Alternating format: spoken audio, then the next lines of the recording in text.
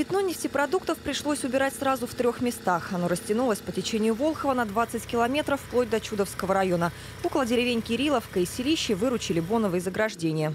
Там специалисты и не только МЧС, но и компании «Транснефть» несколько часов собирали остатки нефтепродуктов с поверхности воды специальной тканью.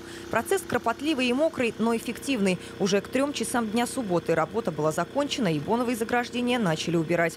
А тем временем в Новгородском речном порту чистили не только воду, но и землю. Верхний загрязненный слой почвы на месте разлива соскребли, а саму территорию засыпали чистым песком. Собранный грунт здесь тоже не останется. Руководство порта заключило договор на его вывоз и утилизацию за пределами Новгородской области.